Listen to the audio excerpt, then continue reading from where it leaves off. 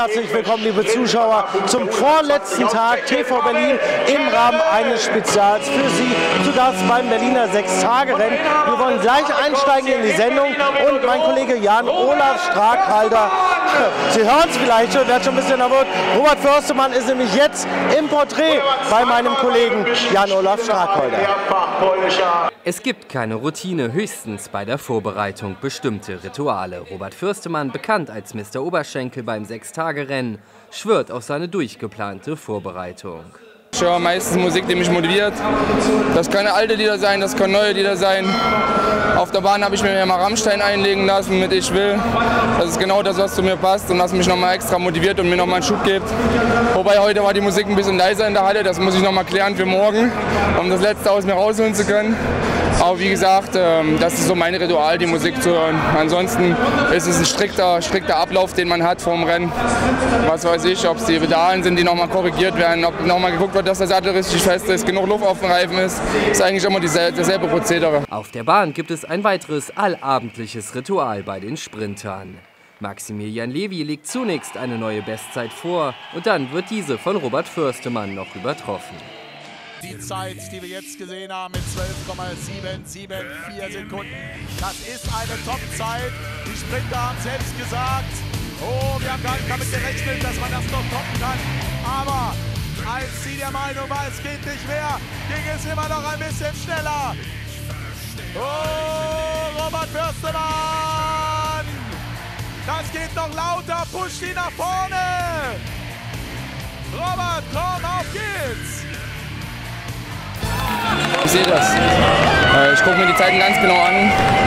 Ich habe mehr oder weniger das Glück, dass ich als letzter starte und dementsprechend sehe ich immer, was die anderen alle vorlegen. Sicherlich gibt mir das nochmal so einen extra Push mit. Auf der anderen Seite sind wir professionell genug, dass wir auch schnell fahren können, wenn wir das nicht sehen. Also es interessiert mich einfach. Ich kann mich dann nochmal extra motivieren, aber wenn ich zum Beispiel bei einem Weltcup bin und vorlegen muss, die Situation bin ich auch gewohnt. Also äh, es ist äh, wirklich das Rundrekordfahren ist somit die spannendste Disziplin hier am Abend. Bereits zweimal konnte der Sprinter die Bestmarke des Berliner Sechstagerenns in diesem Jahr knacken. Am letzten Abend soll ein weiterer Versuch folgen. Wir schauen mal, was morgen noch geht. Ich war heute wieder knapp dran, nah dran. Ähm, selbst heute war wieder unter, deutlich unter dem äh, Bahnrekord vom letzten Jahr. Ich war heute, glaube ich, bis auf den Sonntag, äh, wo es sowieso immer ein bisschen schwerer geht, weil die Nacht sehr kurz ist. Ähm, jeden Tag unter dem alten Bahnrekord, was eigentlich schon eine total kranke Nummer ist, was niemand erwartet hätte. Von daher war ich auch heute sehr, sehr zufrieden. Und ich werde definitiv versuchen, morgen nochmal eine Schippe draufzusetzen. Schauen wir mal, vielleicht reicht es ja wirklich nochmal für einen neuen Rekord. Aber ich habe schon ein paar Mal gesagt, die Luft wird dünner, die Bahn gibt bald nicht mal mehr her und dementsprechend sehen Nuancen, ob es ein Bahnrekord ist oder nicht. Er wird es noch einmal versuchen, seine eigene Bestmarke zu toppen. Denn beim Sechstagerennen gibt es keine Routine. Ja, liebe Zuschauerinnen und Zuschauer, jetzt ist er bei mir, ein Urgestein Berlins auf einem Urgestein Berlins, dem Sechstagerennen. Hallo erstmal fragen, wie fühlst du dich hier? Na, wie immer, wie zu Hause. Also, ich genieße das natürlich. Und ich sage immer, wenn ich also hierher komme und dann durch die ganzen Eingänge mich durchschleiche, ich muss erstmal eine Nase vom Innenraum nehmen. Und wie riecht's? Das riecht wie immer, es riecht nach sechs Tagen. Und äh, ich finde es einfach toll und es gehört zu Berlin, das ganze Durcheinander und das, das herrliche, äh, sag mal, Beisammensitzen. Dann äh, natürlich eine Menge Freunde. Äh, klar, ich vermisse ein bisschen Otto Ziege, ne? der ist gesundheitlich ziemlich angeschlagen. Aber ich gehe natürlich dann auch zur Glocke.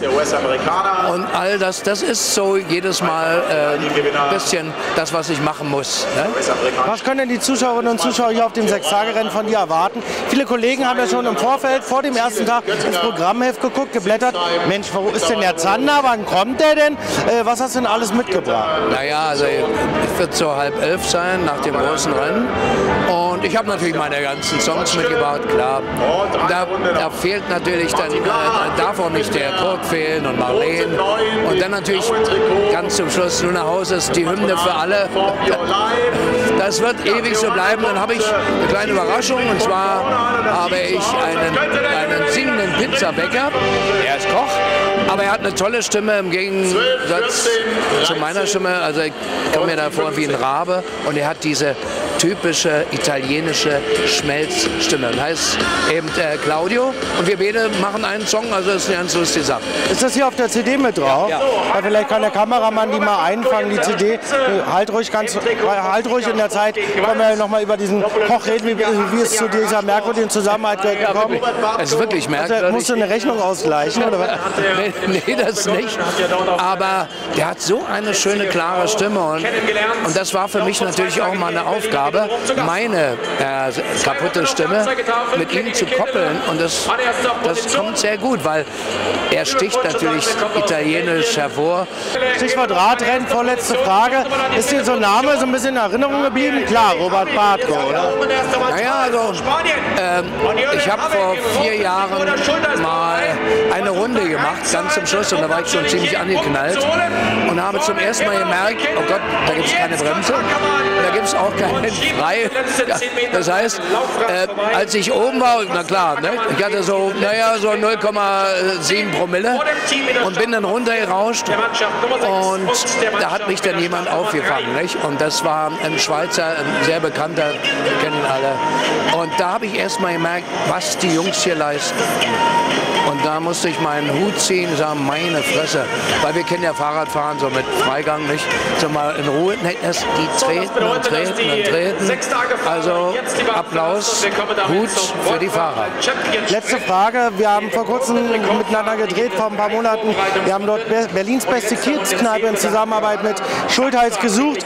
Äh, wie geht es dir gesundheitlich und lässt dir heute Abend ein neueres? Weil damals hast du ja Bronchitis, glaube ich, so doll gehabt. Wir mussten vorsichtig sein, er durfte nicht singen, so wirklich. Sprechen wir auch ein bisschen schwierig. Aber so ein, zwei Schultheiß genehmigst du dir heute Abend trotzdem. Also meine Stimme ist wieder okay, die ist so, wie sie ist. Nur eine Bronchitis noch dazu. Das ist natürlich dann schmerzhaft, weil dann hört man nichts mehr. Und äh, die ich meine, Bronchitis, das ist eine, eine Frau. Die Bronchitis, die hat sich festgeklammert und hat mich, glaube ich, jetzt äh, vier Monate lang nicht losgelassen. Aber jetzt habe ich sie langsam äh, beiseite geschoben. Jetzt, jetzt denke ich mal, ist alles klar.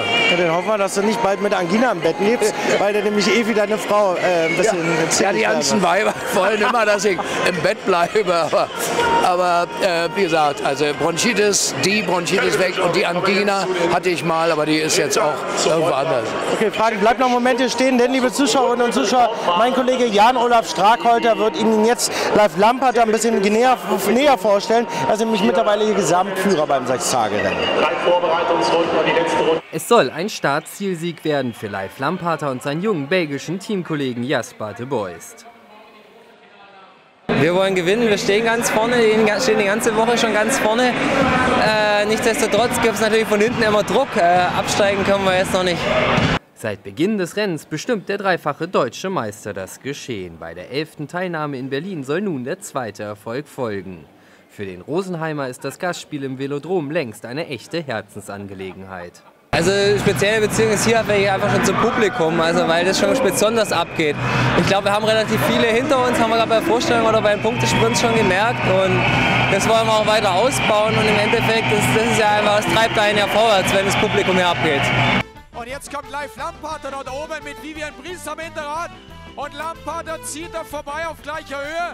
Mit Torres live. Lamparter holt sich hier die Wertung. Die 3 vor der 2. Die Taktzahl wird höher. Mit 53 Punkten Vorsprung gegen Live Lamparter und Jasper de Bois nun in den letzten Tag. Ja, also wir merken natürlich jetzt nach, ähm, dann schon die Beine.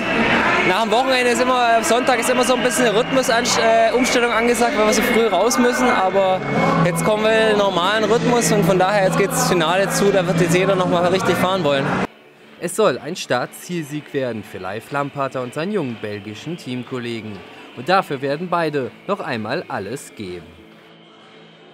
Ja, liebe Zuschauerinnen und Zuschauer, jetzt ist er bei mir der Schultheiß-Geschäftsführer Wolfhard Buß. Hallo erstmal, Herr Buß. Und die Marke Schultheiß ist ja un, un, unverkennbar verbunden mit den Sechstagerennen in Berlin. Ne?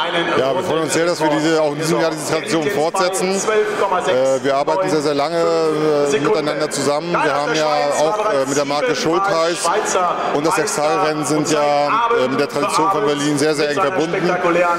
Wir sind ähm, lange hier beide im Markt, Marktteilnehmer, über Jahrhunderte kann man einfach so sagen. Und das verbindet uns. Und eigentlich ist das, gibt es keine andere Verbundenheit als das Sechstagerennen mit der Marke Schultheiß zusammen. Noch eine Frage zu der Wahl der besten Kiezkneipe. Das haben Sie ja auch in Zusammenarbeit mit TV Berlin in diesem Sommer gekürt, im letzten Sommer vielmehr gesagt. Berlins beste Kiezkneipe.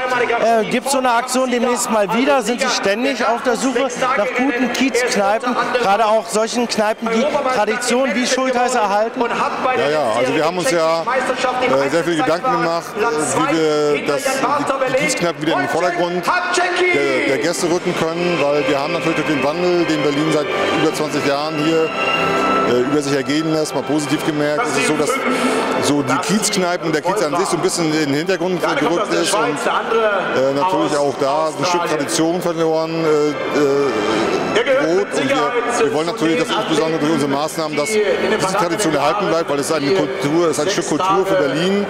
Wir haben, äh, die Kiezkneipen haben eine sehr wichtige interaktive Funktion in ihrem Umfeld. Sie sind Anlaufstelle für, für die Gäste, sie sind auch mal, mal äh, bieten Regionalität für, für Leute, die so ein bisschen auch so in dieser großen Globalisierung so ein bisschen so einen einen Hafen suchen. Und es ist natürlich wichtig, dass diese Kneipen erhalten bleiben, dass sie Anlaufstelle sind, dass sie aber natürlich auch gutes Bier am Hahn haben und ähm, äh, gute, gute Kommunikation bieten, guten Service bieten den Gästen über, dass das Ambiente stimmt und dass der Wirt natürlich auch dahinter steht und äh, alles das äh, an, an, Heimatgefühl vermittelt, was der Gast am Ende des Tages auch sucht. Ein leckeres Schultheiß können wir jetzt nach der Sendung zusammen noch trinken. Das machen wir sehr, sehr gerne. Ich lade Sie herzlich ein. Okay, vielen Dank, Herr Buß und liebe Zuschauerinnen und Zuschauer. Das war schon wieder für heute unser TV Berlin Spezial vom äh, 103. Berliner Sechstagerennen. Wir melden uns natürlich morgen Abend noch einmal und hier folgen jetzt die Bilder des Tages. Ich freue mich schon auf ein leckeres Schulterspiel.